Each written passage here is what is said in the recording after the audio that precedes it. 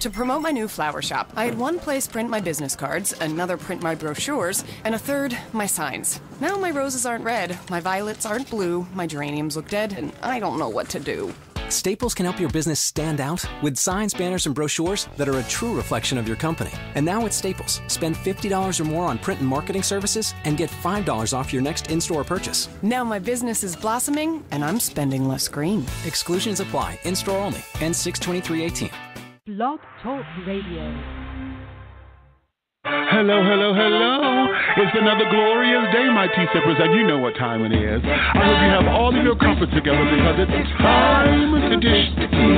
And your dish darlings, ah, with Big Meach.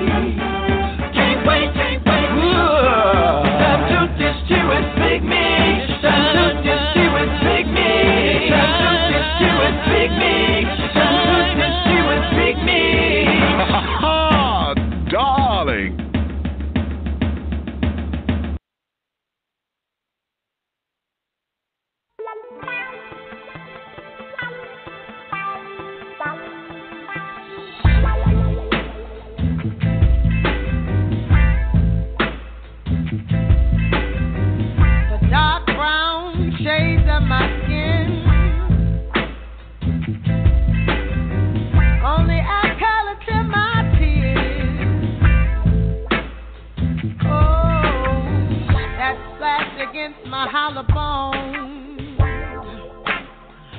That rocks my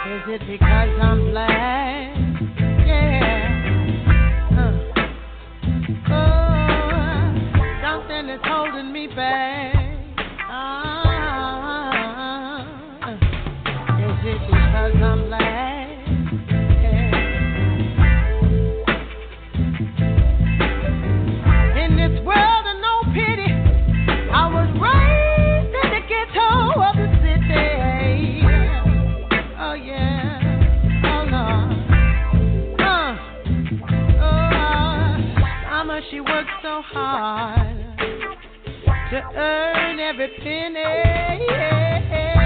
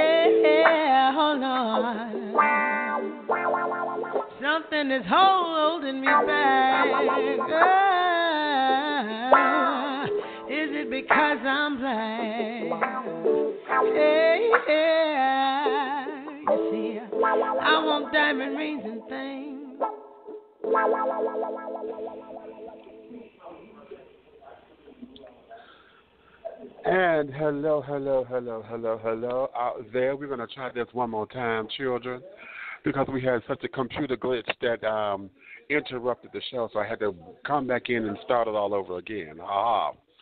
So, coming to you live from the American Intercontinental University, we are dishing tea with Big Meach. Honey, I'm not going to do my standing or whatever because um, right now I just want to get into the show and all of that. Uh, if you're listening uh, right now, honey, you're more than welcome to join in on the conversation by calling 347 205 9183. That's 347 205 9183. Press the number one. Just press it one time, and you hear the host say that you are now in the host queue. And having said all that, honey, that will let you come on in and discuss with us what's going on and what's in your on your mind. Now, honey, today is a don't come out of a bag Wednesday, and that means you are my co-host. So whatever's on your mind, we could talk about it right here and right now. However, the rule is very simple. If you decide to come out of a bag on me, honey, I'm gonna come out of a bigger bag on you. You feel me? okay. So having said all that, darling, okay, the tea room is still is still buffering and filtering. So okay, I'm not going to get involved in that. We may not have the tea room with us this time, but it's okay. So having said all that, uh, again, I want you guys to understand that addition to what Big Meach is for mature audiences, and the language and the subject matters that you hear on this program are not intended for children or anyone who is not mature and or responsible enough to handle the situation at hand. So, your listening discretion is advised. I will repeat. Dishing tea with big Meach is for mature audiences, and the language and or subject matters that you hear on this program are not intended for children or anyone who is not mature and or responsible enough to handle the situation at hand. So your listening discretion is advised. Yes. Okay. If you're new to the show, honey, you're going to find out very, very, very quickly that I have a potty mouth. I make no excuses for it. Honey, at 46 years young, honey, I have earned the right to every three or four or five or 17 or 27 or 52 or 197 syllable and or letter word that comes out of my mouth. So, honey, I don't know what bag I'm coming out of, but do know that I'm coming out of one of them. Okay. So, uh, please, if you're at work, now is the time for you to sit down and to put your headphones on or turn your volume down to a respectful level. If you're at home with children, put the kids in the other room, honey, with the other flat screen, so they can watch Dora and SpongeBob and Bert and Ernie and Kate and Allie or Laverne and Shirley or Rags and Riches or whatever the case may be, because this is their the opportunity for us, uh, for the grown and sexy, to become the seasoned and sophisticated. Okay, again, if you want to come in on this conversation, please feel free to call in at 347 205 9183. That's 347 205 9183. Okay? Now, having said all that, let me now uh, reboot and get some things together. Um, we got a, uh, a couple of announcements I'm going to do throughout the show, and uh, as they come to me, and this, that, and the other. Uh, with that, let me do and, and pay a couple of bills, and my sponsors say a few things, and then when we come back, we're going to get all off into this, okay?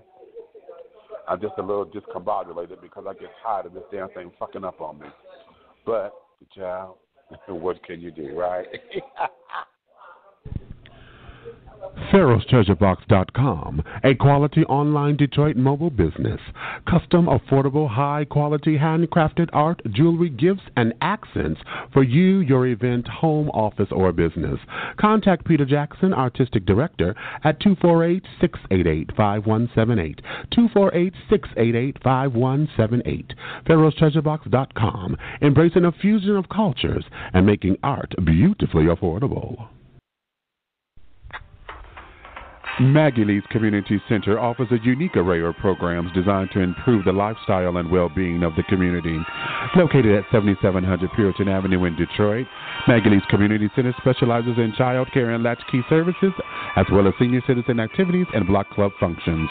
For more information about Maggie Lee's Community Center, call 313-737-9042. Maggie Lee's Community Center, giving the people a chance to show how much they have to contribute. Double Exposure Media Relations is a full service public relations, marketing, and artist development firm specializing in urban culture and lifestyle. Spearheaded by the Henry Hingers of hip hop, Mr. Angelo Ellaby, Double Exposure serves to educate its clients about the dollars and cents of the music industry. For more information about Double Exposure Media Relations, call 201 224 6510. 201 224 6510. Double Exposure Media Relations.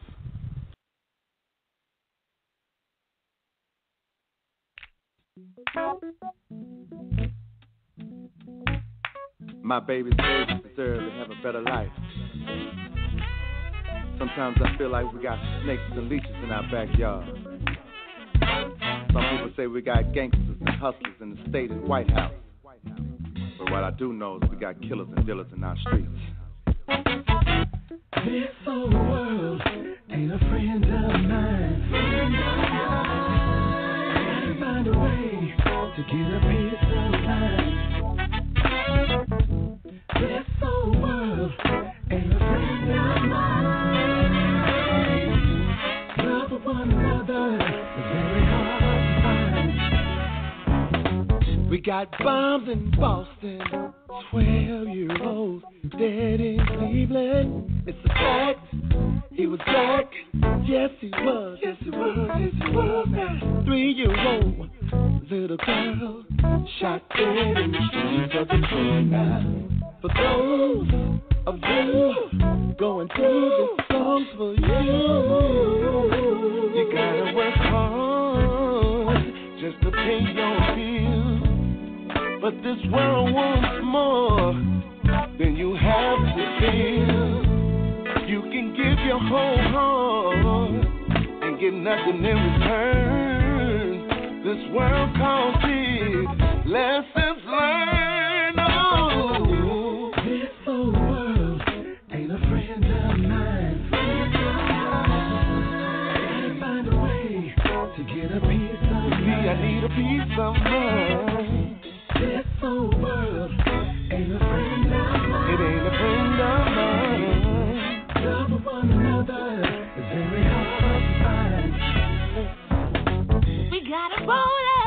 Coming overseas.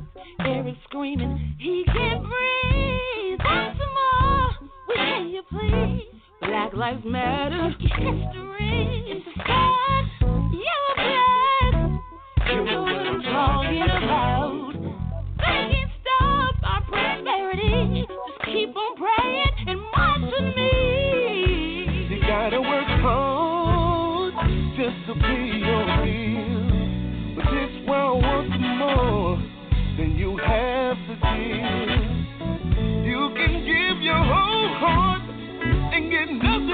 turn. This world cold lessons learned.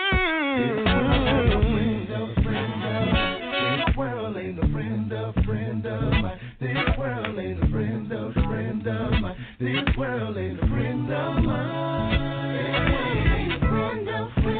friend of mine.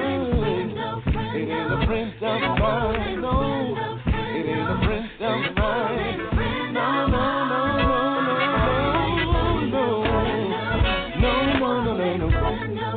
No, you can't trust nobody.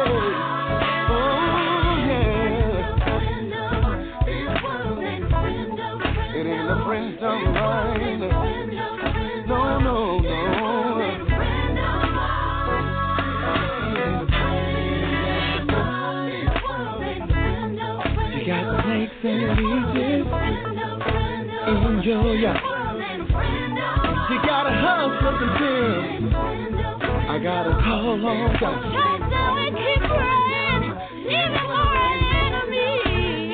Even though it's not a friend of mine.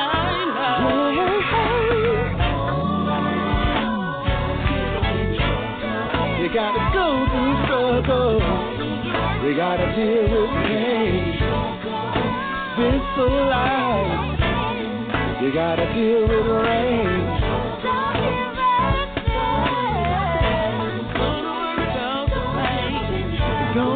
About the pain.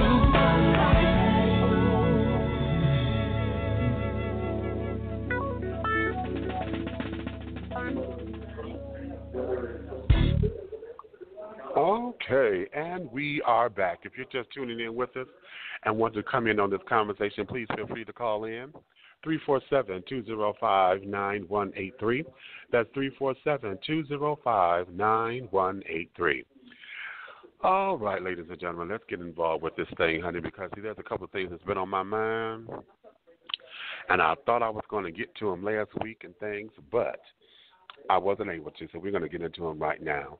Uh, again, if you want to come on in, 347-205-9183. Again, you are my co-host, honey. So whatever's on your mind, we could talk about it right here and right now. But if you decide to come out of a bag on me, honey, I'm coming out of a bigger bag on you. Okay? So now you could talk about whatever you want, or you could choose from what I'm going to be talking about. Now, the first thing that's on my mind, um, Bill O'Reilly, uh, Bill O'Reilly rather, he can go straight to hell. Okay. Yes, I said it, and I mean it with every fiber of my body. And I know I don't have a heaven or hell to cast nobody in, but that motherfucker could go straight to hell, far as I'm concerned. Okay. Uh, now, I have been trying to be very, very understanding of his political views and his commentary. I know, you know, he's one of those um, right wing conservative kind of children or whatever.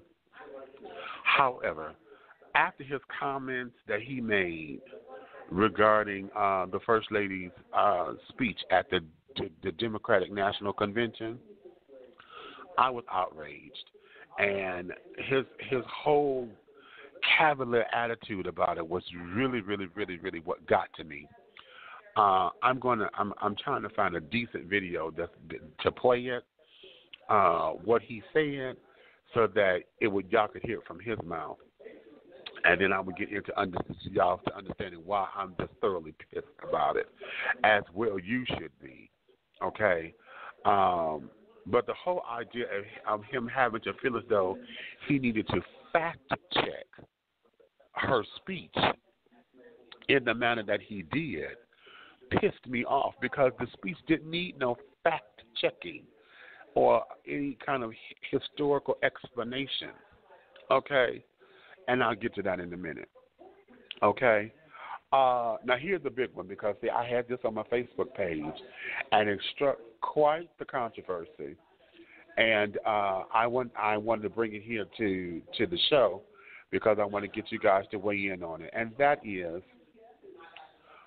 uh, Bow Wow had uh, put something up recently, and Black Twitter, as they call it, I hate that, but black folks across this country seem to have gotten all inundated with upsetness with this boy because he says that he cannot identify with the civil rights movement because he's biracial or multiracial and that basically he goes by what is tangible to him what he sees around him is what he relates to you know.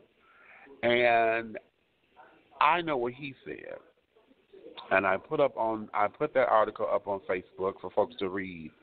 And I asked this question because after reading some of the comments that the folks had made, uh, and they went right where I thought they were going to go, I put this question up, and it became such a heated conversation to where, yeah, here's the question Why is it that we, uh, as black people, Native Americans of African descent, as I like to call us, uh, why is it that we tend to get upset with those who are multiracial uh, when they embrace their entire heritage?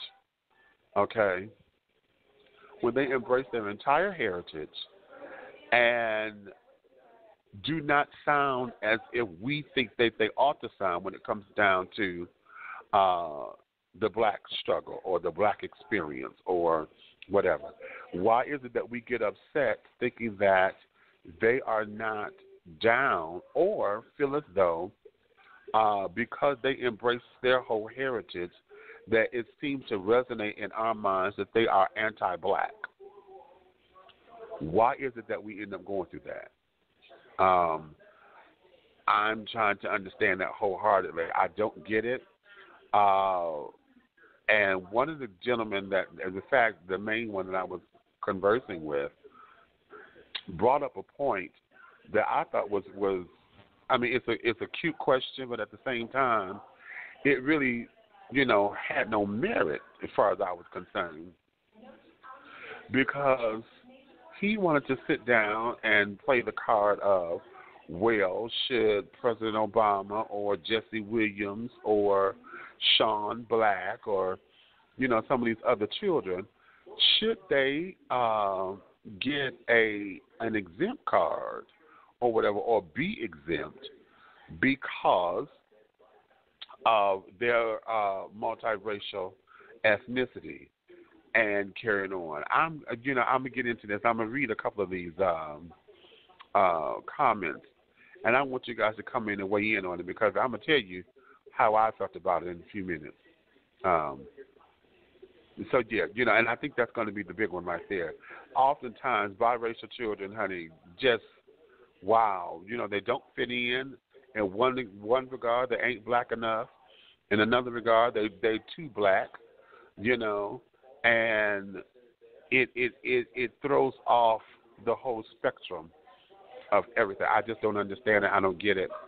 Um, and and and and I just need somebody to try to help me out with this because why does that always resonate that they are anti-black because they don't sound like you know the system or, or because they're not screaming down with Whitey or down with the man or whatever little thing that we got going on that's supposed to say that we are down for the black struggle or that black experience. Um, yeah, I'm gonna throw that in y'all lap. Okay. Um, yeah. The third thing is another hot one. I don't know if y'all have seen Nick Cannon's uh, poetry, his poem that he did on slave movies. Uh, do you agree with his assessment that he did? You know, do y'all agree with, with what he was saying in there? You know, about he's tired of seeing all these slave movies made, being made and this, that, and the other. Uh, you know, what what's your take on that? Okay. The number to call is 347 205 9183. That's 347 205 9183 eight three. Now, let me see if I get this to play. I want y'all to listen to this little piece of shit that Bill O'Reilly said um, about this uh, about Michelle Obama's speech. I heard.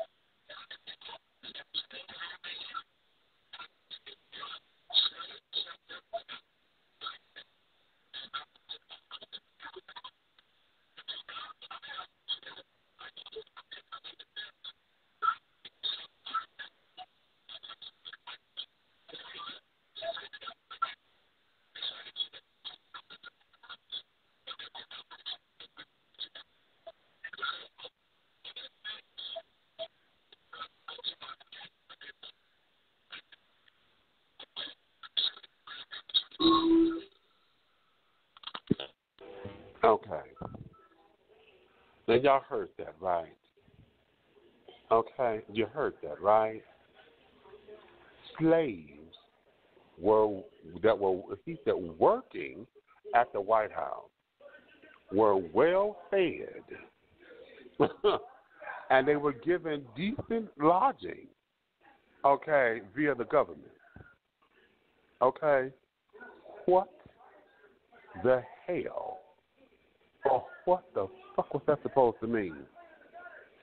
You know, I took offense to that so badly because I'm trying to understand what part of this is he trying to, you know, what what was he trying to do? This whole history lesson that he gave uh, about the history of the White House or whatever being fascinating, and why did he feel he had to go and basically do a fact check on uh, her speech, and then to make it sound as if uh, the children were sitting up here going through uh, their own little thing, and they had options.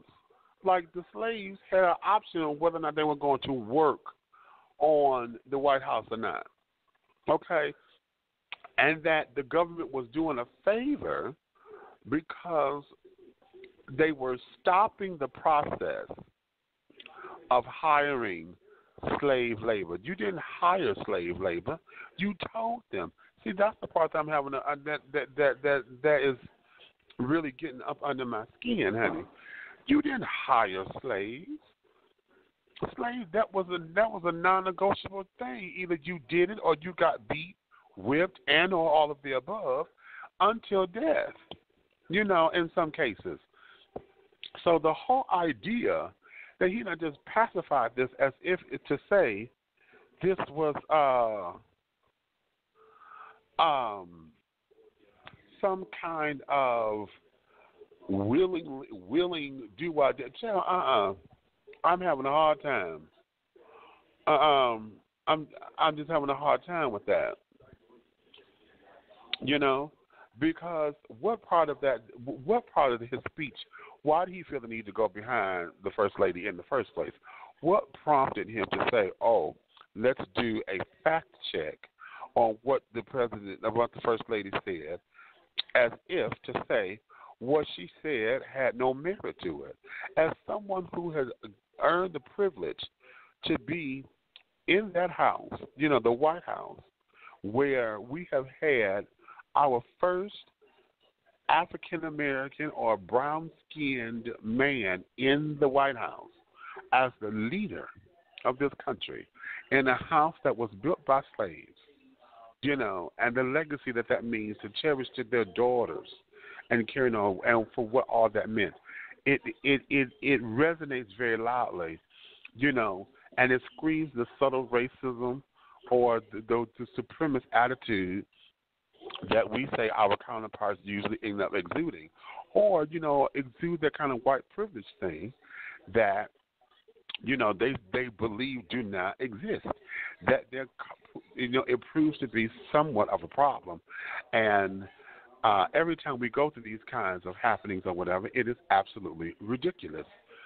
I was fucking outraged with that because I'm like, child, you act as if you don't get that oh, they were well fed and they were given decent lodging by the federal government.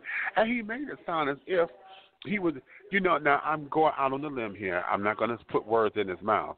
I know this is going out on the limb uh, with this. However, I can compare that to what they say about folks who are on welfare or who get food stamps or who get some kind of public assistance or whatever. That you know, oh well, well you got a good house and carrying on. For those of y'all who remember when when the when the folks will sit down there and you get your rent and stuff paid, you know, they gave you an allotment, a cash allotment for your rent and all of that. And they said, well, you getting food stamps, honey, and this, that, and the other. You get, you need to get. You know, I don't understand why you having a problem with this. You're getting fed. You eat good. You know, and then at the same time want to criticize the fact that oh all you buy is junk food, honey. You buying all this frozen foods and processed foods and this, that, and the other, your kids gonna be big as a house. And but you. What is this? In one minute you're saying, "Oh, I need to shut my mouth because I'm getting fed well," and then because I'm being fed well, now you want to sit up here and say that, "Oh, the types of food that I'm eating is healthy is wrong," and I ought to be ashamed of myself, and et cetera, et cetera. Bullshit. Okay? Bullshit. All day, all day. I'm just, I'm having a, a bad, bad, bad, bad, bad time with that. Yes, I am. What did you say? Three four seven two zero five nine one eight three is the number to call to come on in and make this thing happen with me. Um, as we continue on, uh, let me go here and, and let you know. Yes, No Time for the Pain is returning to Detroit. We are in the process and pre production of getting that ready for 2017. Your help and support will be greatly, greatly, greatly appreciated. Uh, you can go to our website at dishingtea.com for more information on how you can help us bring No Time for the Pain back to Detroit, Michigan.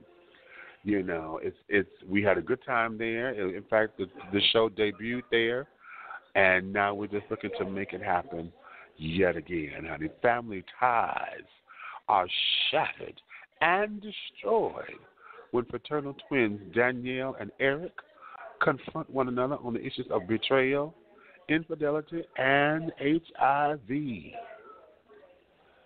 And ladies, the question is, what would you do if you found out that your fiance of seven years was having an illicit affair with your twin brother for five of those seven years? Your twin brother finds out he's HIV positive. You find out that you are pregnant and HIV positive. Huh? Yeah. Come on. No time for the pain, honey. Coming to celebrate Juneteenth right there in Detroit, Michigan. And we need your help. Again, go to our website, www.dishingtea.com, for more information on how you can become a sponsor. Or if you just want to do a one time donation, that's wonderful. If you want to advertise your business in our online uh, uh, virtual program, that there is an option that's always available for you. So now, let me do this. I got to. I've got to sit down here. I told you I'm live at the school, so I got to juggle around just a little bit. So I'm gonna take a commercial break. When I come back, we're gonna continue on. Okay?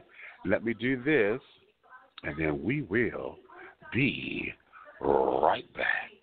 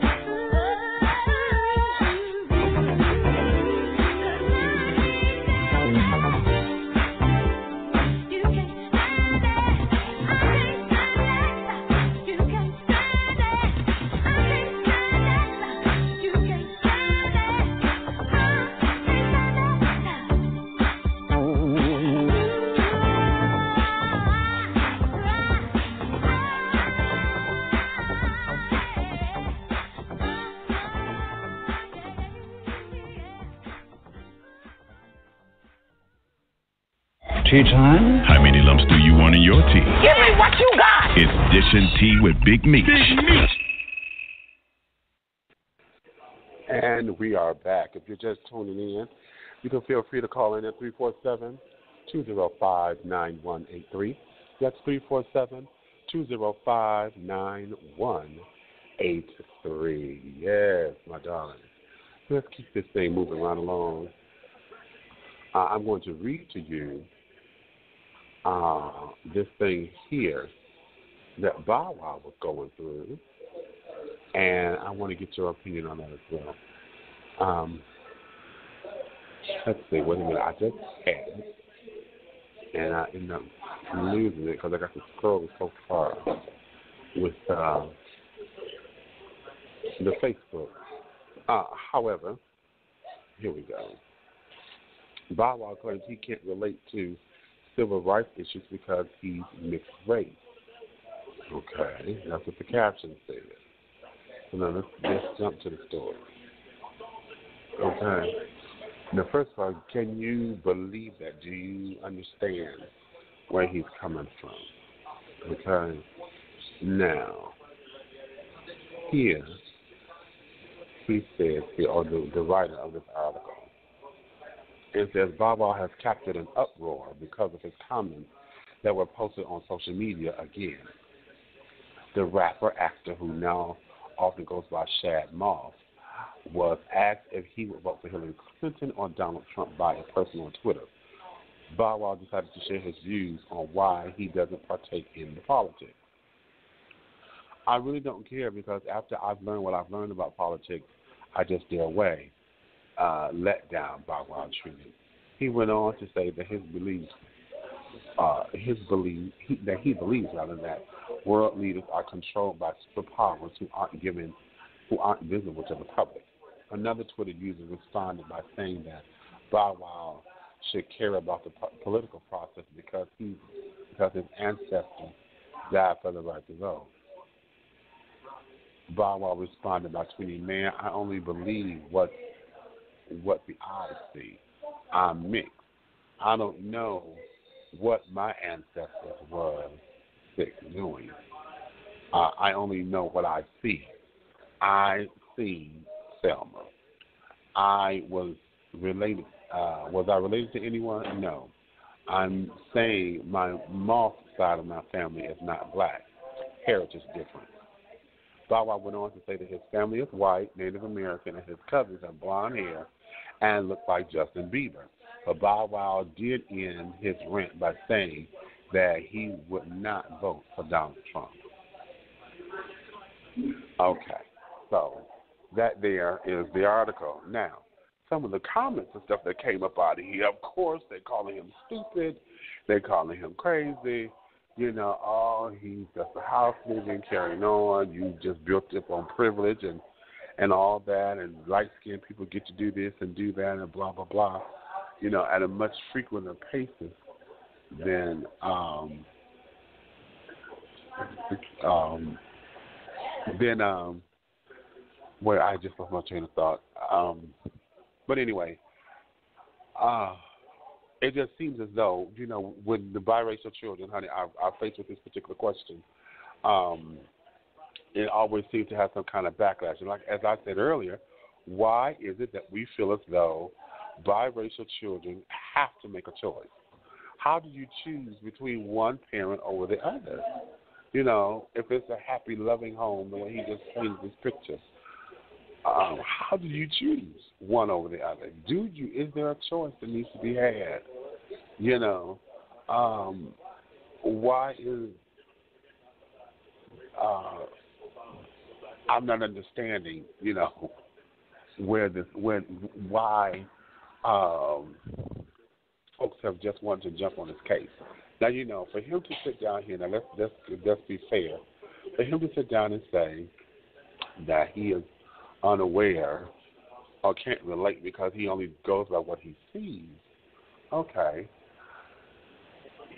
Oh, I'm sorry, I'm yawning. Um, if you go by what you see, then, sweetie, I'm sure you know within the entertainment industry that folks are not, um, you know, catering to African American skinned men or brown skinned babies and carrying on. We still have such a racial divide, as you all know. We all feel this, the, the pain of that, and it's not healthy either. Uh, so that there's what's going on with. I'm, I'm, you know, I know what he's saying. You know, as far as um, just taking everything at face value. You know, he can't feel as though he needs to delve into the culture or whatever the case is. So I find that to be very interesting. You know, and of course, uh, with uh, with all the controversy with the Black Lives Matter movement and carrying on, you know, this this thing here, you don't want to identify as black because you're multiracial. Why is that um, an issue? You know, so I'm I'm I'm I'm torn. I'm dashed. Okay, I'm dashed. So uh, yeah. All right, we have a caller coming in five eight six six four nine. Five eight six six four nine. Come on in. Darling, you on the air. Yeah. What's on your mind? Congratulations for you being in your college classes. I, I hear the wrestling of the students. However, as far as the biracial comment, it, kind of alongside with the uh, Michelle Obama thing. My simple my simple thought on that is this: I, I hear it a lot from my black community. When an oppressed is called oppressed because, what else do you expect them to do but act oppressively? Okay. Okay. Okay. That sounded really, really cute when I first heard it. I still say this for all that type of stuff. We we learn how to focus both tough on the negative. We learn how to uh, discredit. We learn how to separate and and segregate to put things in columns so that we can or categories that we call of our own understanding, as opposed to sometimes simply giving over to the simple truth. Mm-hmm. The simple truth is we are all in this walk together on our own individual path. Thus, mm-hmm. I pose the question how can we ever truly say that we respect someone's opinion when we seem to lack the ability to practice self respect? If you have an inability to remove thine own self from a problem situation, as all of us human beings have a tendency to do, why then, when you're confronted with a topic that you disagree with or see from a different perspective, talking about the possibility of resolve becomes the last resort? You want to argue, call somebody a couple of bitches, and get all get your panties all knotted up, and swear somebody was in your drawers tying knots. Right, right, okay. Okay. And and still fail to realize it's your nasty ass fault for letting them in your pants in the first place. You didn't feel somebody wrestling around in your pants, tying your panties in a knot.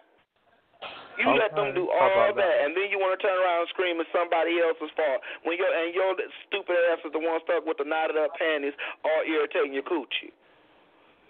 Please, y'all, let's stop coochie irritation. Okay. Cut You that out. And and it's a tough walk. It's a tough walk. Sometimes when a bitch lonely, any lump near a twat feel kind of welcome. However, it's difficult to practice not settling for your on yourself like that. As cute as it may sound, it, it's it's something I had. um It's a realization I came in today reading this friggin' Iyanla Vanzant book. My goodness gracious, it's mm-hmm. like a a practice in a alternative perspective. Mm-hmm. When you actually meditate on positive things in your life, you get to thus then practice it in your life. Thus, uh, continuously grow in the knowledge and awareness of positive things, such as black people, albeit that they are real, are magical. Mm-hmm. When Hmm, Michelle okay. Obama, as far as parts of the speech that I remember, because the parts that I remember people getting um, all up in an uproar about in one way or another is when she said, "I'm living in a house in a, in a home built by slaves." Mm-hmm. I I get the magnitude of such a statement. It's pretty awe-inspiring to know that uh, on, that from the literal blood, sweat, and tears of your ancestors is, is, is you know this was created and brought forth, and you got these separate groups that want to pull out. Well, you know there were some white people working harder than this and that. You know what? sure, it doesn't eliminate the fact of the truth I feel in her statement. Just like um Bow Wow's. I'm not even I can't even call myself a Bow Wow fan, whatever he um changed his name to because it's his real name. I don't know that little boy like that. But as you once said before, I'll fight I'll fight to the death for his right to speak his mind. I may not like it, but that's how we get educated. You know, finding out shit we didn't know, other perspectives. Yeah, now going with other perspectives, here's the here's the question because when when um, it was posed to me about um, uh, you know should folks get exempt from it, you know, and I told the guy I said, listen, sweetie, I said we have uh, a multiracial president that everybody tends to to forget that he's multiracial. Why? Because they want to concentrate on the color of his skin. Anytime he talking pro black and this, that, and the other, oh, they forget that he white. The white folks don't forget he white or part white. Okay. Uh, Jesse Williams, when he made his speech at the um, the uh, BET Awards at carrying on, his parents were there. Okay, and uh, you know, as long as he was pro-black, honey, everybody was all all down and, and digging him and carrying on. But he said something in, in there that got that got silenced because the black folks didn't like that. When he stood up there and said that, uh, you know, you sitting up in here spending your money for a brand, honey, when it was brands that got us here in the first place, and we were branding here, Well, branding you, there. know what? Hold right on for there. Wait a minute. Three three Sure, seven four one five. Three three seven four one five. I see you, baby. Let me open up your mic because I see you you itching to get up in here. Let me open up your mic so that you know that you're on the air, and I got you. Three three seven. Hello, how are you today? Hey, I am everything, and everything is me, honey. How are you? I'm great. Uh, my name is Professor James Lumpf, and I teach a broadcasting class at Full Sail University. My class, we listen to your show all the time. We find it really informative.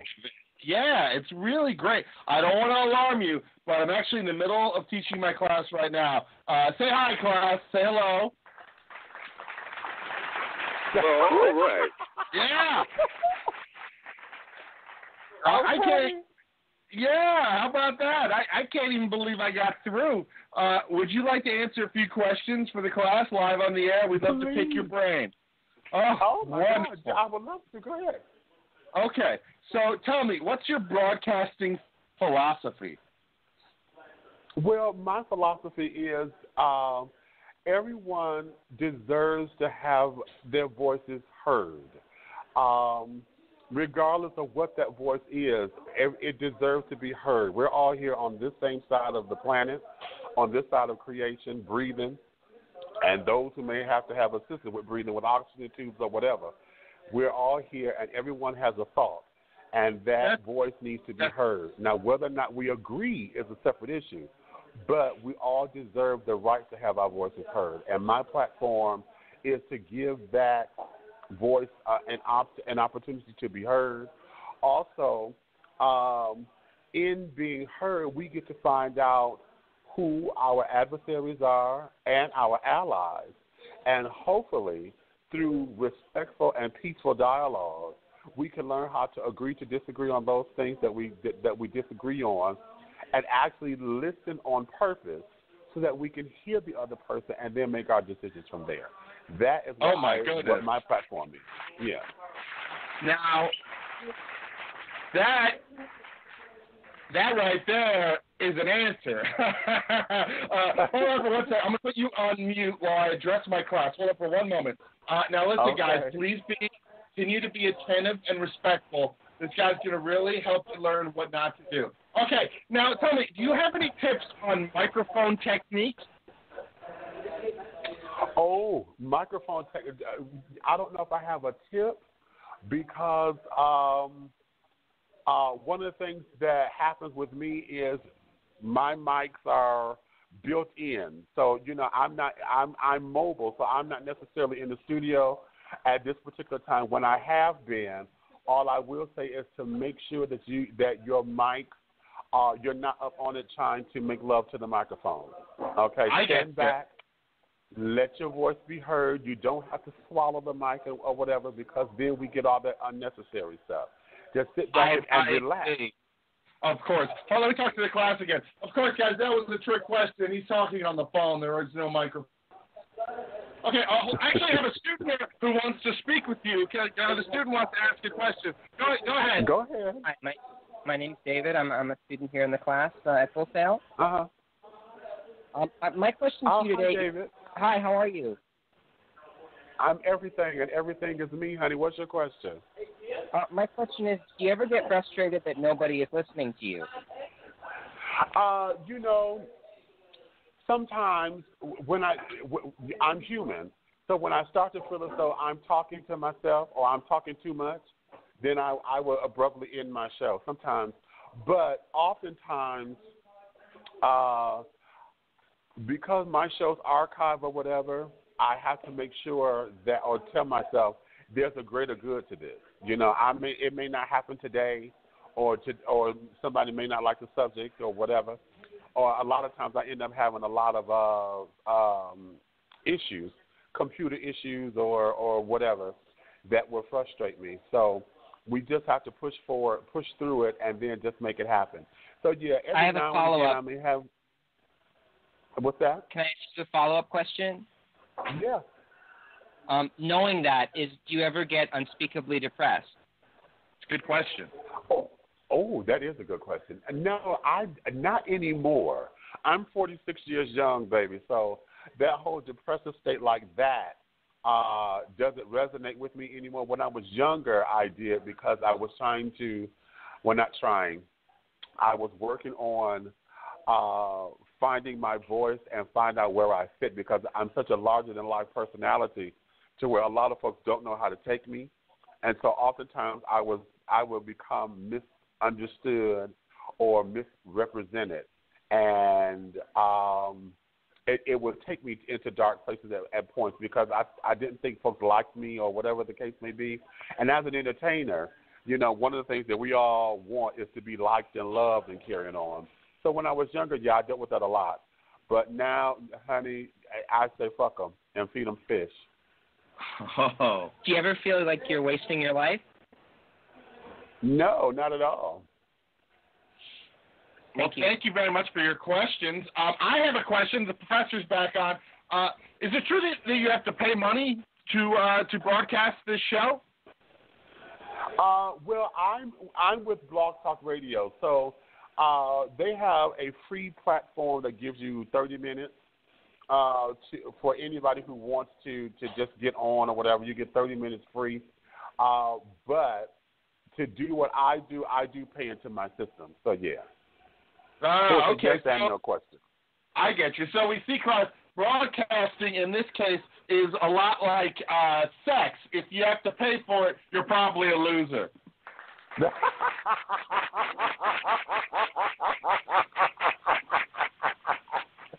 Well, that depends because if, if if you know what you're doing, or you pay the right person, it becomes a business decision, and I can get it. I don't have to deal with all the the bullshit.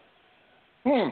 So what should every broadcaster try to avoid other than doing a show like this? What should every broadcaster try to avoid Other than doing Other a show than- like this. other than doing a show like this? What do you mean? I'm not understanding that question. Well, Other I guess doing a show like this. yes, yes. What should what else should they avoid? They should clearly avoid doing this show, but what else should they avoid? If they want to be Oh, professional. Well, uh, I don't know about avoiding my show or this particular format is the is the is the, is the key. However, in that sarcasm, what I will say is this: if you want to get involved, this is the platform to start to cut your chops.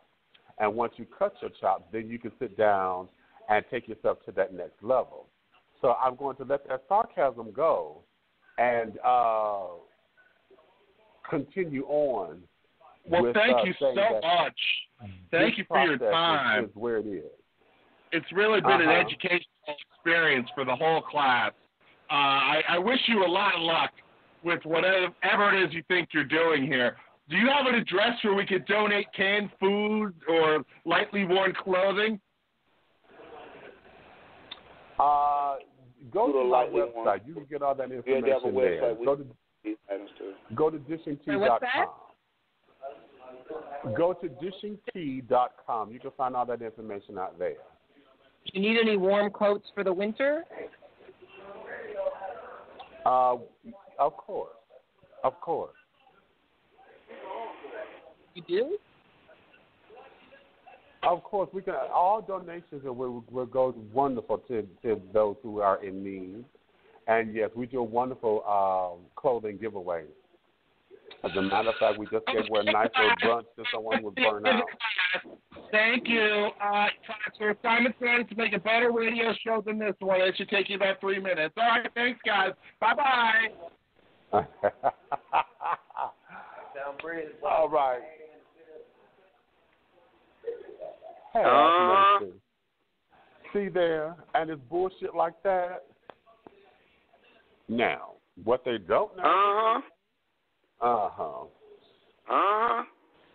Uh huh. Yeah, and and I want to tell you personally, what a beautiful job you did in handling that.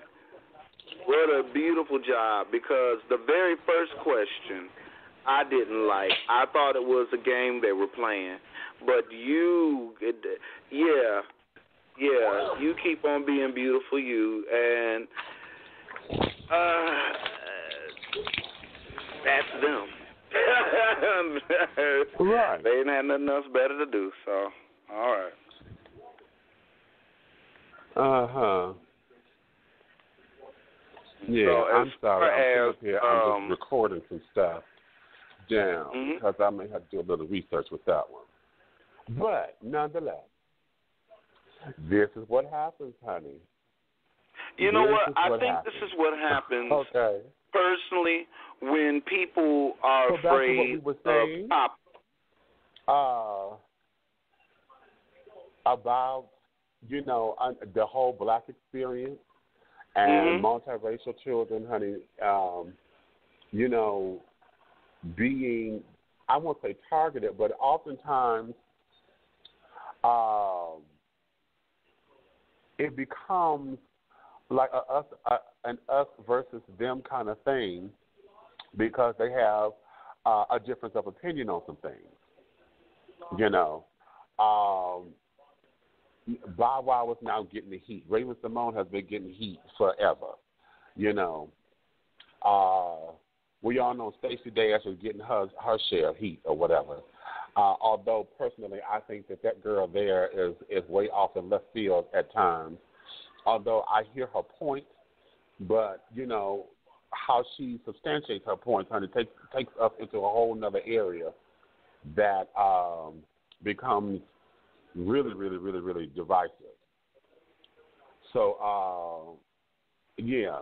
So I feel, you know, why is it that we feel as though folks get all upset and get their panties in a bunch whenever biracial folks are not screaming from the top of their lungs about, you know, being pro-black this, pro-black that, and et cetera, et cetera.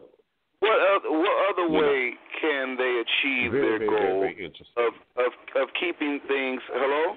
You there? Yeah. What other way can people keep things divided? What other way can Okay, people, I um, the, the, those too. who choose to keep things No, separate and I- choose to overwhelm peace I with ignorance and I hatred? wonder.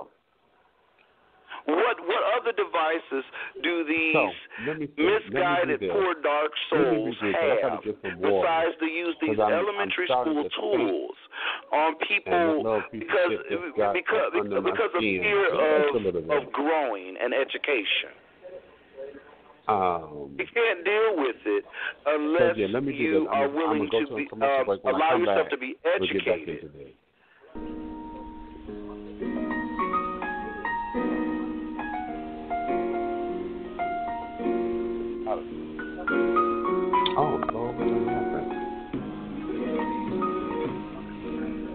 Trigg Laboratories manufactures premium sexual wellness and consumer healthcare products and is the parent company of Wet International Incorporated, one of the world's best selling lines of personal lubricants and intimacy products. We carry a large variety of personal and flavored lubricants, flavored heating massage lotions, and aromatherapy heating massage oils. Whether you need a little or a lot, Wet has you covered. Our line of high quality, innovative, and unique products are formulated using only the finest ingredients at our FDA approved facility, meeting the strictest manufacturing standards. Wet is available worldwide at specialty stores and online retailers and at pharmacies nationwide. For more information or to find a retailer near you, log on to www.stayswetlonger.com. Trigg Laboratories. We create fun, quality, trusted products to innovate your intimacy.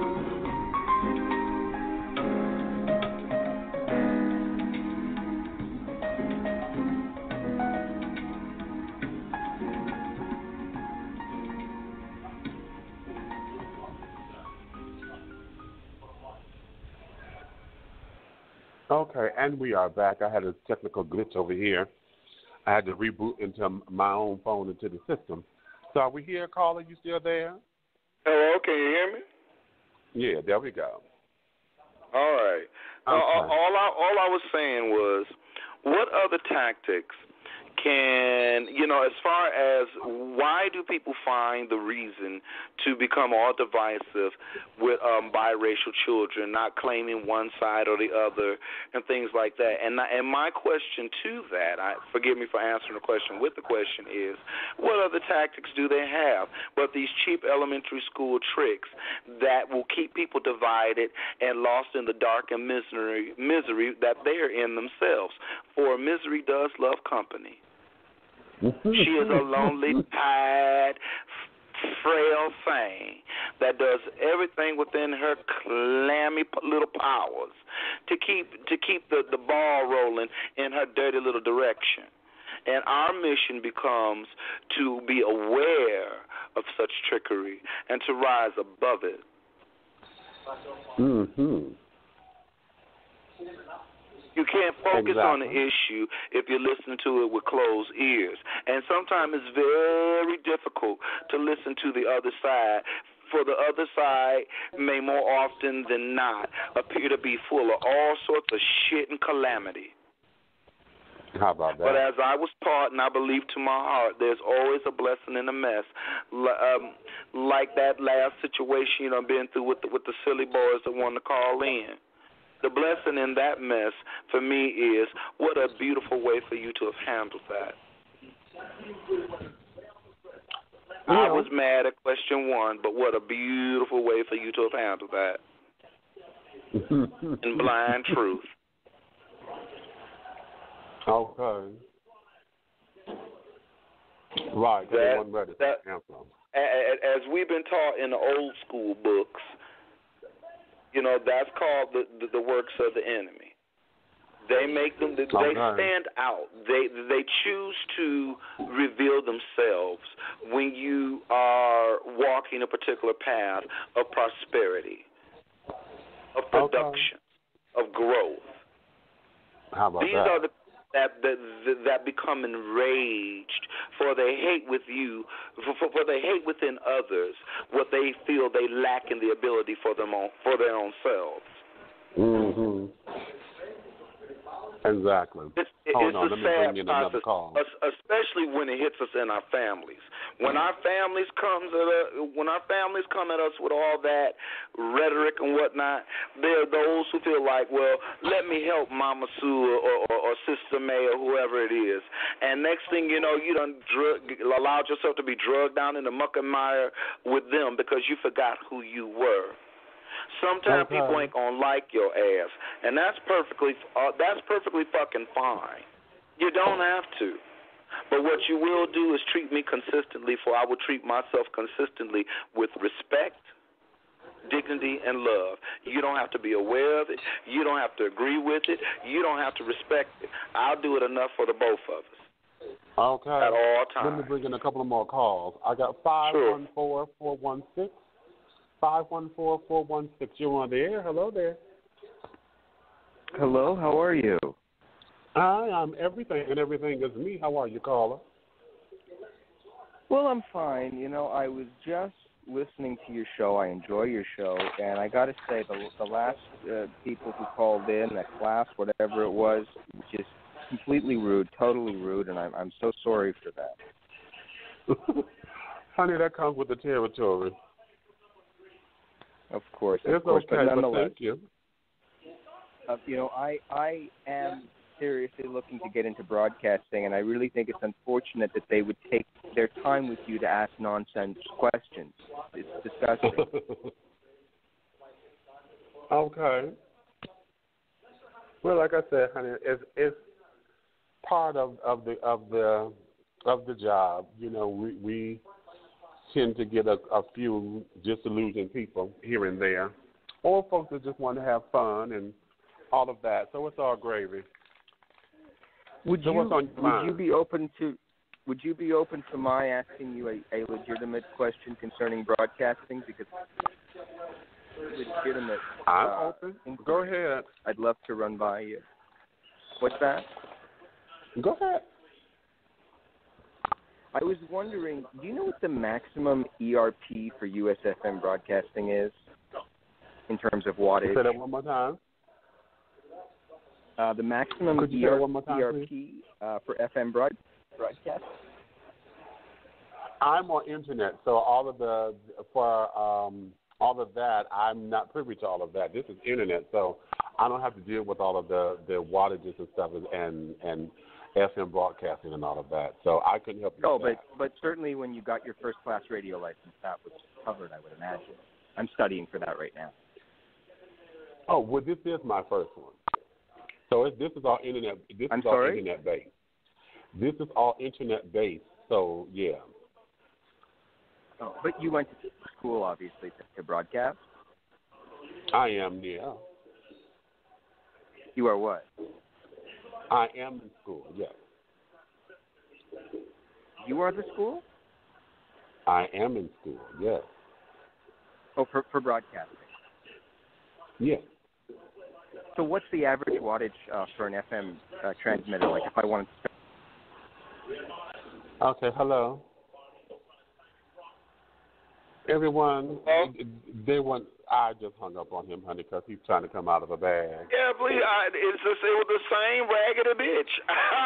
right. it really was. Okay. It really was. Um, and right. and I'm she going probably gonna try to call in on a couple of more uh, on another, calls on, and because she called in on, on a different number, so uh-uh. I know, I know, I kid you not, but 989, but but this bitch wasn't even clever enough to disguise her voice, and that's okay.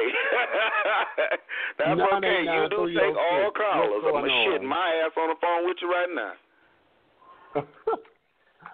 Nine eight nine three zero six. Your mic is hot, baby. What's up? Hello, how are you?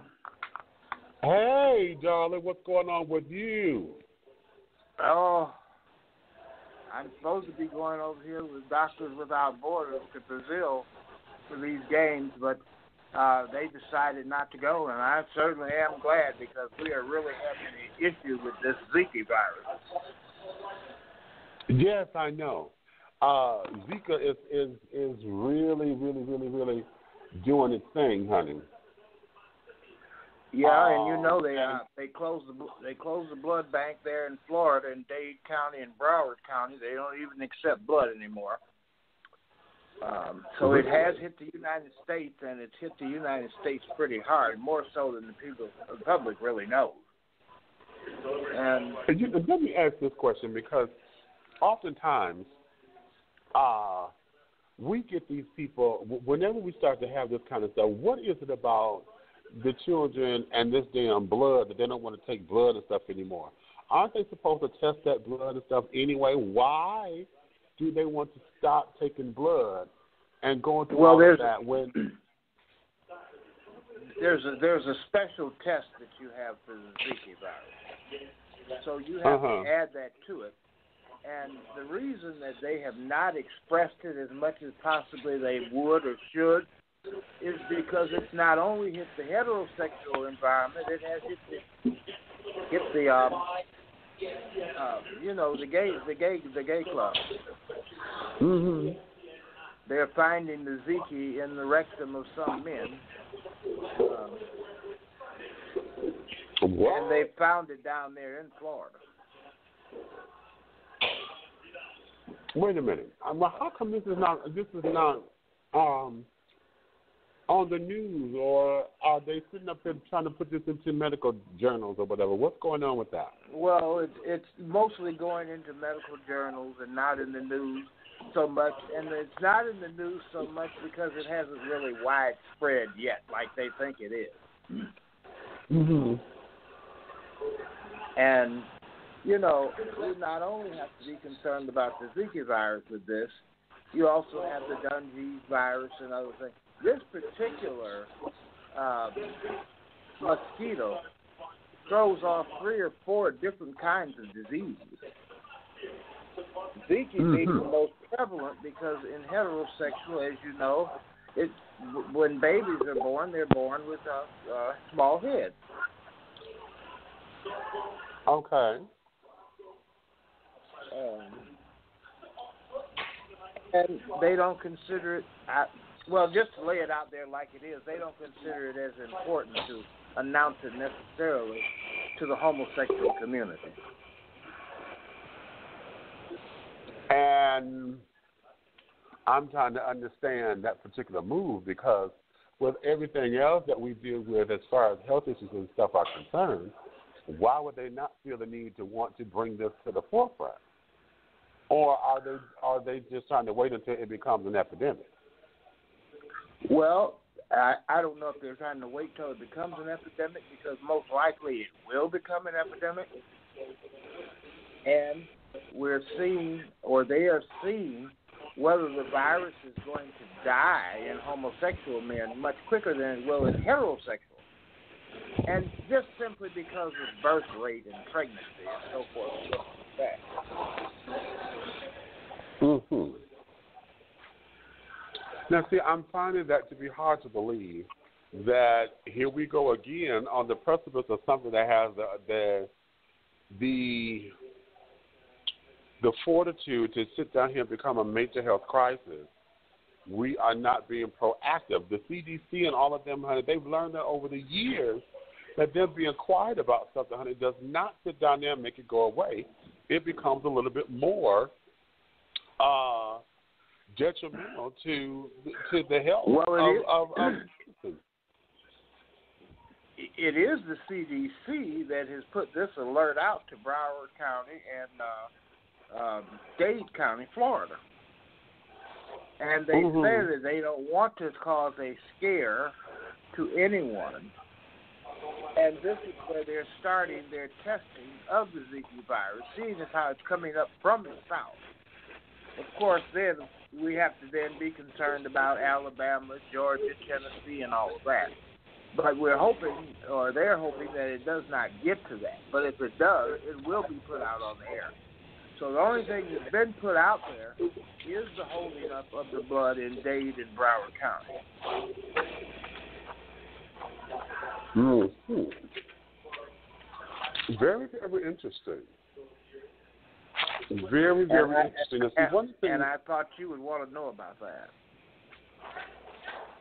So see, you know what? See, it begs me to question this because Dade County, my, my, Miami Dade County, and carrying on, they're close to that border. Um, for a lot of the countries, you know, um, our our islanders and carrying on. A lot of folks coming from Puerto Rico and Haiti and and and and Jamaica and all those other different places. And the Bahamas And Cuba stuff. now. And Cuba, you're right, right. And and I'm I'm having, um, you know, uh, an issue with that because you know, I'm starting to wonder something, and and, and it, it just it's a correlated idea. Probably has nothing to do with anything, and I don't want to get into no kind of race thing about it, but it's just awfully interesting that here, where we have now we know open up this this the the the travel plans to Cuba and carrying on. You know, a lot of folks are going here and there and elsewhere and blah blah exactly. Um, that now we have this quote unquote new virus that folks are basically bringing back to the United States from traveling abroad. You know, with the, in the mosquitoes and things. It's just too coincidental to be a coincidence. Well, another thing I think you need to consider with this, and if you look at it in correlation with water rates, are these mosquitoes carrying viruses not only through uh, sexual intercourse, are they carrying it through water? That is Right. what uh, that is what the aquatic world is looking at, as lo- along with the CDC. Is this uh, Mhm. strain being carried in the waterways as well? Well, I would I would want I would hope to have that question answered because what ends up happening is mosquitoes and stuff breed in water, and that was the first thing that I, w- I was wondering about because they kept saying that it's that it's coming with the mosquitoes. So I'm like, okay, is this something that is taking place, um, or are they just dropping chemicals in the water where these mosquitoes are breeding? Because Well, apparently they are it's living in the water. in the water. They You are know, it's living in the chemicals water. Mm-hmm. So I'm that's sorry, very interesting. It's it's just very, very, very, very, very interesting. Hold on, I let me. I'm gonna press you on pause because I got a feeling I'm gonna have to do something here. Five zero two two zero eight. I'm gonna open up your mic. Five zero two two zero eight. You're on the air. Hello. Hey, how's it going? Um, I was just wondering, do you think you could talk to more people potentially by just shouting out your window?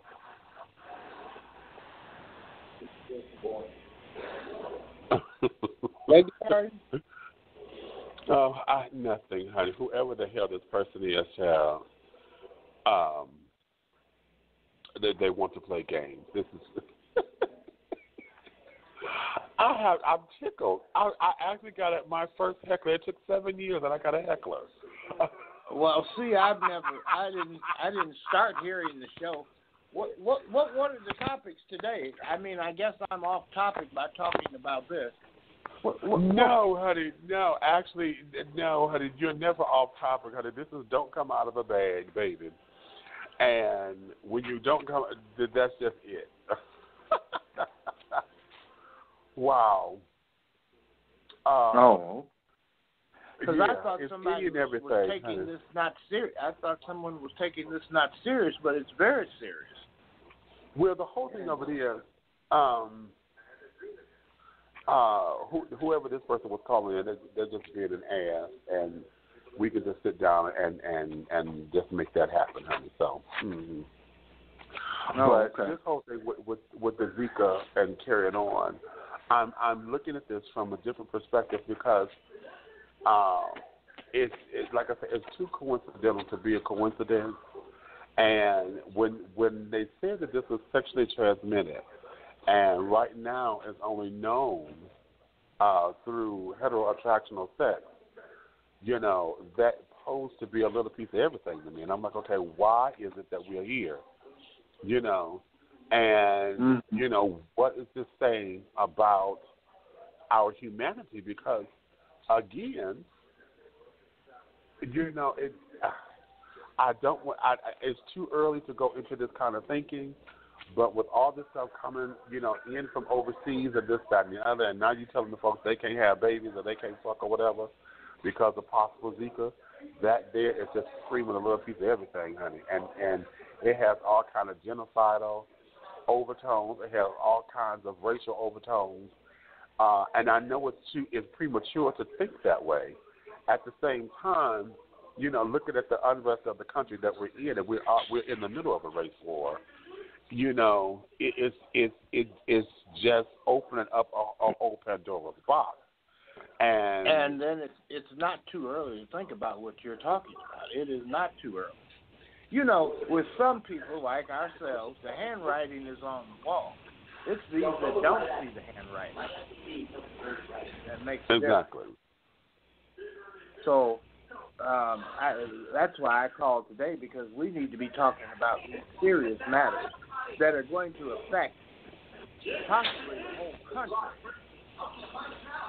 Wait a minute, wait a minute. You're starting to break up a little bit. Did you move?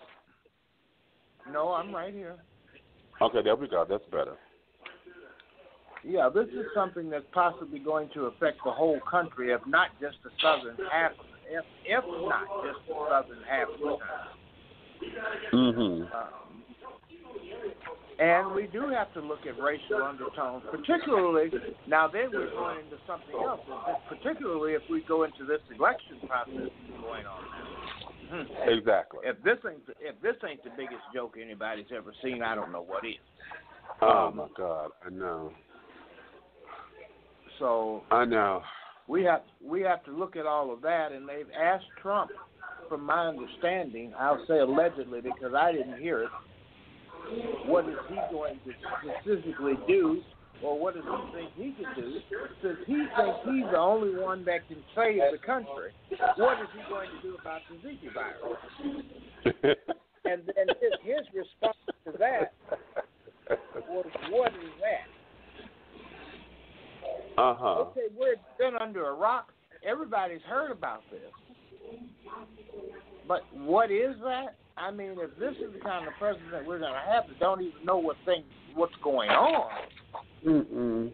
No, I don't. uh, You know what? I'm. I'm. I. I said this at the beginning of all of this that I believe that in the beginning, Trump was running as a joke. Okay. I did too. I don't. I don't think he thought he was going to get this kind of momentum.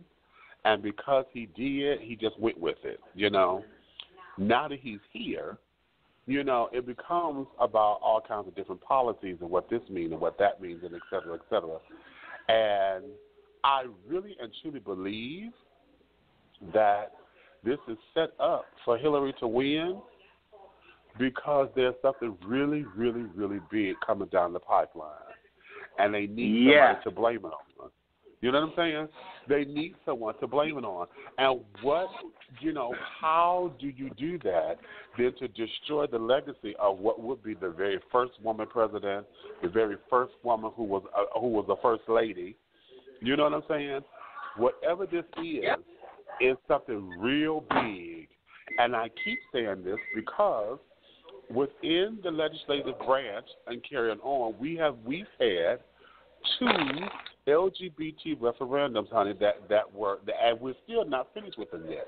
This whole religious freedom bill and the the transgender bathroom bill. Those are two issues that have taken precedent within this country. Okay, and got the evangelicals all together, got uh, this, that, and the other, and and and whenever the evangelicals get into a whim, it always becomes a smokescreen for something else. And whenever we get that smokescreen, then all this other stuff just starts sliding up under the wayside, and it goes so unnoticed to where we don't, you know, it happens so quickly, and then we find out we in, we into something. So I'm telling you, this is starting to feel that way, um, and wow, wow. Well, because let he- me tell you this: Uh. most people don't know. Most people do not know that outside of the NRA, the next largest lobbying group that has power is the LGBT. Oh well, I'm sure. They yeah, are well, the we second most powerful uh, lobbyist in Washington. I believe that, but uh, but the sad thing about it is that as much as my community lobbies, we still have a racial disparity within it because it's not taken across the board, and everyone's issues is, are still not being, um, uh, at, you know, put together at the table, and that there is something within the community that we have to we have to battle with, and this is something that we What- have been saying to a lot of. Well, Do you think that they have too many other things to deal with right now? Is that is that? Do you think that's an issue that they really do have a lot of other serious issues to deal with? Not saying that that's not serious, but they're a bigger fish fry on the table right now. Well, you know what? I I won't say that there's that, that no. I think like with everyone else, um, when it comes down to the fight for equality, you know, uh, that's always on the forefront. What ends up happening is that I think my, the LGBT community ends up becoming too damn serious. So I just got into a nice little debate, and, I, and someone just left me something on my YouTube page uh, regarding a comment that Stephanie Mills said. She was talking about Prince, and you know she was doing a tribute to him, and she simply said, you know, he's the only guy that she know who could wear makeup and heels like we do, and he could go into a club and still walk out of the club with your woman.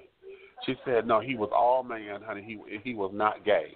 And there's one, you know, there's a few folks who took offense to that, you know, and was like, well, why would she say something like that as if being gay was wrong? And I said, no, you misunderstood it. You know, I'm sorry that you took it that way. But basically, you know, Prince has always been criticized about being gay or whatever because he wore the heel. And, you know, the androgynous clothes and this and the other. There have always been uh, a thing. And uh, so it became this whole back and forth thing. And so now the dude sit up there and, and pointed out, you know, well, you know, Prince's legacy did not need to be protected, honey. We need to, you know, the LGBT uh, rights and stuff need to be uh, protected or whatever. We talk about hate crimes and this, that, and the other. How, how the hell did you get hate crimes out of he's not gay? He's all well, man. w- What about you know? I would like to see. I heard now. I don't know because I haven't read it. That Little Richard wrote a piece about this. You know, you don't too much from Little Richard at all. A, a, a piece about what? About uh, uh, uh, that boy you just mentioned, Prince. Prince. It was it was Prince and Michael Jackson that Uh-huh. Richard wrote a, wrote a piece on. They say. I have not read the piece. I haven't even pulled it up to even know how to pull it up. But I said, Richard, I haven't heard. I know he's still alive and well, but I haven't heard anything from him in years.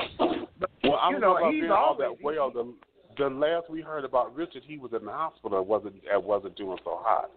So I and I don't know if he's recovered or what. We have not heard anything else.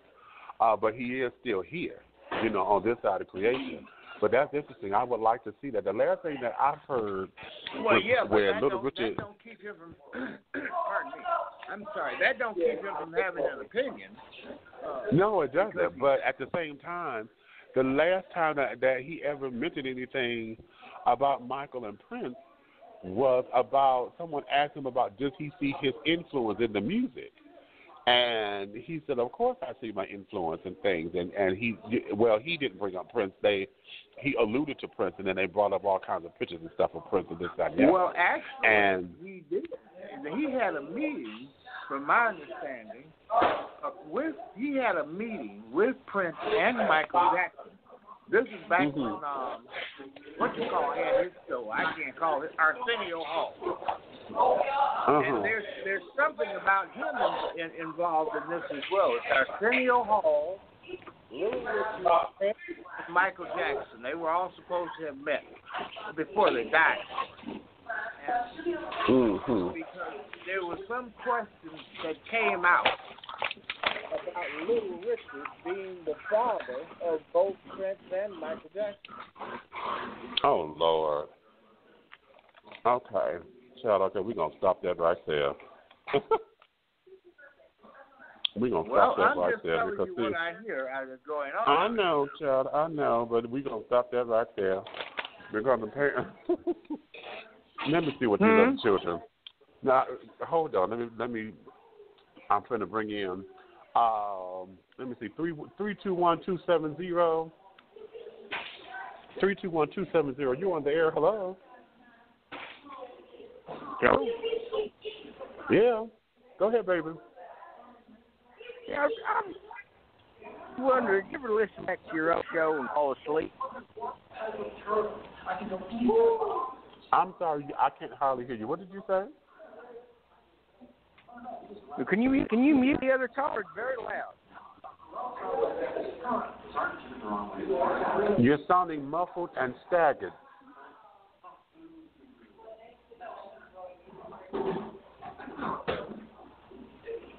Call Where are you, sir? There's a lot of noise behind you, dog. I'm fine. Can you mute I'm- him for a I'm- sec I'm so I can get question at? A- I can't hear him, honey. I'm hanging. Seven one eight nine um seven one eight nine three eight. Wait a minute. Seven one eight Hey, I just three got a real quick question about the conversation at hand. Uh, who gives a shit? Apparently you do because you called in. Bye. Hello. Hello. Mm. Yeah. Oh, that's that same idiot that keeps calling back. Yes, child. Have you ever had a heckler? I've been on the air for seven years, baby. Seven years. And this is the first time I've had hecklers to call in like this. And they're calling back to back to back to back to back. But at this particular point, what I am going to do, because uh, we're getting into the, the next wave of school here, I told you I'm here at the American Intercontinental University where I am a student, and I love it down here. And I'm here in the Student Center building. And so we're about to go into our next wave of classes up here. And uh, we got a lot more folks either coming in or getting out of classes. So um, the caller was saying he got he hearing all the background noise. Well, that's why, because I'm here. So what I will do, let me get let me get you to have a, a couple of words on um, uh, No, let me finish up with my with my question to you. You were asking, did we think, did I think that it's too much, or there there's bigger fish to fry? And the whole thing is, like I said, I think that when when you're fighting for equality and fighting for um, um, just to, to be a part of mainstream culture, it ends up becoming uh, an internalized battle, and then you get folks who end up um, get, letting their sleeves be on their, on, on, I mean, their feelings be on their sleeves, because then everything becomes an issue. You know, the the least of the things become an issue, and so we forget what we're fighting about because we become distracted with the small things. You know, this whole it, it it's it's really too much to handle at one point. That's what the too much is because it's the small shit. You know, the small things that start to worry folk and, and folks get all upset about. And um it's crazy. It's really crazy to where we have to go we really need to go to the table and regroup and then start to stay focused on what the main issues are. If you stay focused on the major issues, then we're able to, to have a voice of reason. Because see, if you stay, if you come off the main issues, then and start addressing all this little stuff, the little stuff is just that. It's little. Everybody is entitled to an opinion. Everybody's entitled to, um, you know, to uh, not necessarily agree with what's going on. Everyone's entitled to that. But anytime that we can sit down here and get folks to a point where they we make it so they can't have an opinion. Have you noticed that the world is like that now? No one can have an opinion without someone wanting to go sue or without someone calling it a hate crime or whatever. You know, Oh, yeah. it's one thing to have Oh, an yeah. opinion, but now we done got to the point to where everything is a hate crime or or is underlaced with hate. And I have to say that the LGBT community is largely responsible for that in this day and age. Because and we're becoming a very controlled society. As Yeah, much as we think know- we're we have these freedoms, the society here is becoming much more controlled.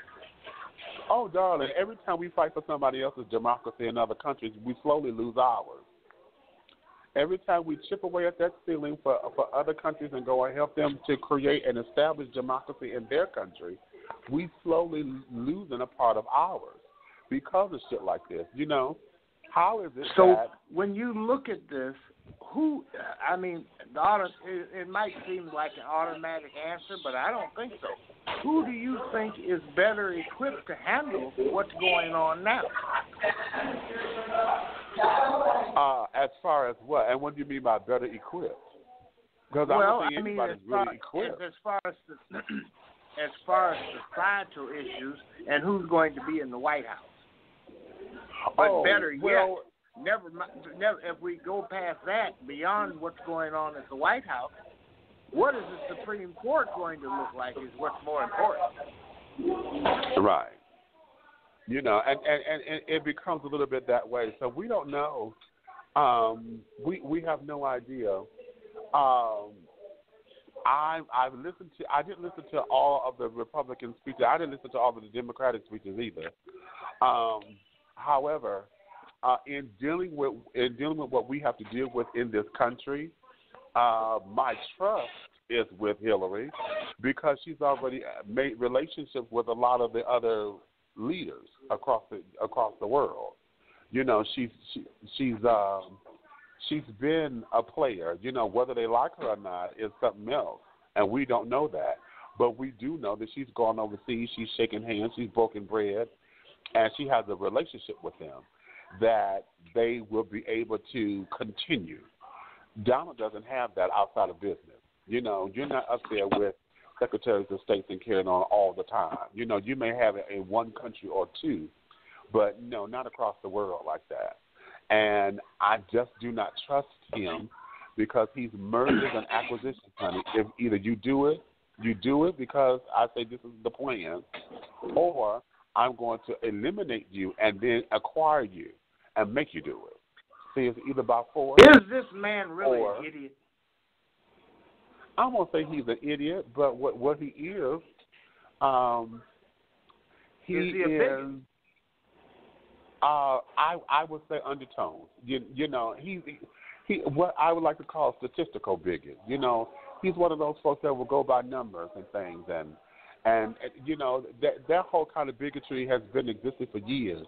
They you know as long as you are one of the good ones and you're not giving them problems or whatever, you cool.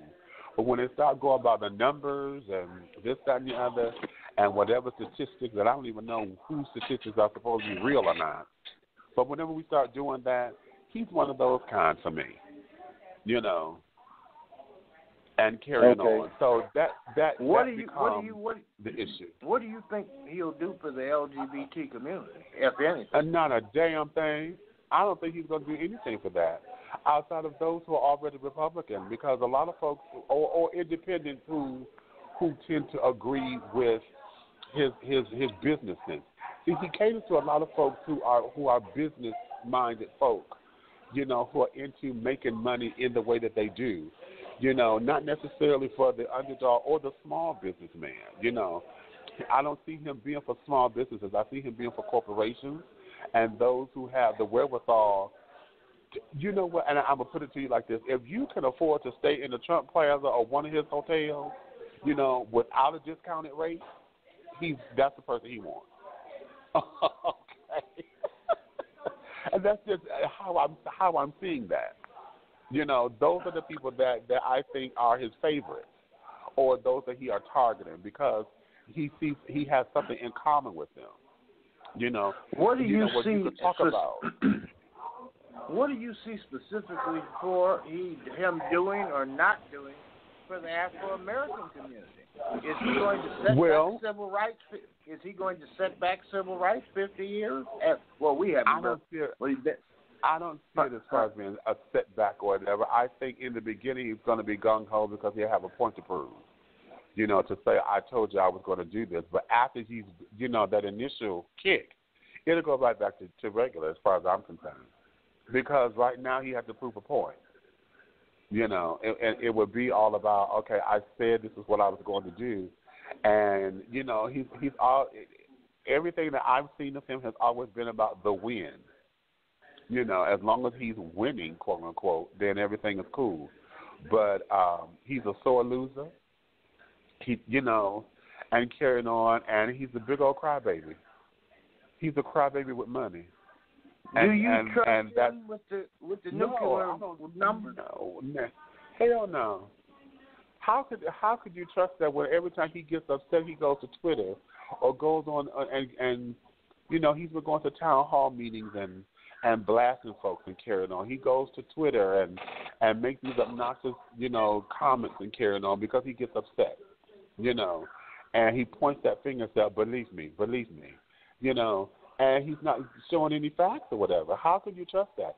How could you trust somebody who has now been hit with the same medicine that he gave President Obama?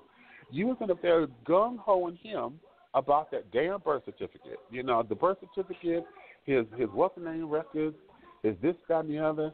And now we all they want is your tax information and you being bombarded with the same medicine that you served and it's not doing anything. So no, I don't trust him. Mm-hmm. I do not And didn't Obama blast him for that? I mean, Rob, oh, he he held back as long as he could. He blasted the hell out of Trump. And see, Trump won't Yeah. be able to do this alone. He's No, going to have to have some help from somebody. And then And I I'm don't looking at who he chose as a from running mate. Indiana's going to help him much, huh? I look at who he chose as a running mate, honey. He has a yes man. Mike has uh, Mike Exactly. Pence has it does not seem to have a backbone with him. He said up there Right. everything about him has been oh Donald this and Donald that. He has not said anything about his own character, about what he can do to add to this that, and the other. He has not done.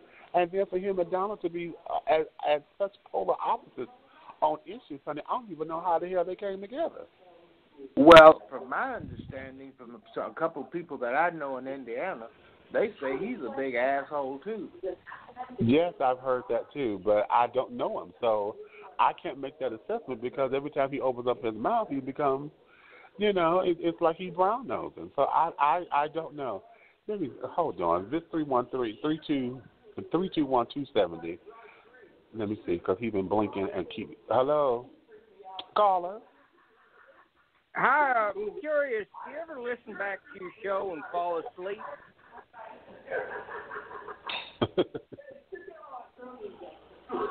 Okay. So, uh, so you know that there is is where this is. You know. So uh, Uh-huh. it's, Is it's anybody very, else very, on very that way. Has any- Is anybody else Huh? that might be able to comment? Is anybody else with us that may be able to comment on this? No, nobody else has put their hand up outside of these there assholes who want to come through here, and and I, it's kind of funny. I'm I'm not taking it personally anymore because, like I said, it's been seven years, child. I've been on the air, and I got hecklers, so I must be doing something right. I I done hit something today, honey. I done hit Oh, I done yeah. hit something today. okay, Mhm. and I and I think it had to do with this damn Bill O'Reilly shit. I think that Well, was why don't because why, this why, why don't you ask why don't you ask him if he's a Donald Trump supporter? he might have Oh, somebody Tom. in there on you. Oh, honey, I'm not, I don't have the strength for all of that because then that means I have to entertain them. See, right now they're just looking for attention and want want something to be said or whatever, and feel as though, um, you know, they can uh they can do that. But whatever, I must have hit a nerve today, and I really believe it was this Bill O'Reilly thing, child. I really. Oh, what happened with Bill O'Reilly? See, I didn't I didn't start at the beginning of your show. I had to come in Oh, you missed it. Okay, well, I'll give you this, and then we're going to close because we're down to the last few minutes. Uh, Bill O'Reilly, as a matter of fact, I'll play it again. Where is this thing? Because uh, he pissed me off so badly with this. Um, and for your benefit, I'm to play this little thing again.